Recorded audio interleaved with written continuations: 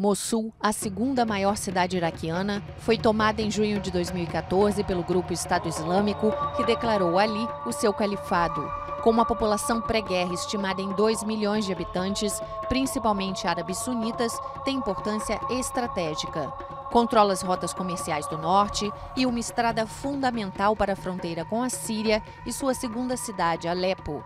Outras rotas ligam a Turquia e o norte de Bagdá a 350 quilômetros ao sul. A principal represa do país, controlada pelas forças curdas, é a 50 quilômetros ao norte. A base aérea de Caiará, a 60 quilômetros ao sul de Mossul, foi retomada pelas forças iraquianas em julho de 2016. Dezenas de residentes fugiram dos combates no sul nos últimos meses. O impacto da guerra poderia gerar até um milhão de deslocados, segundo a ONU.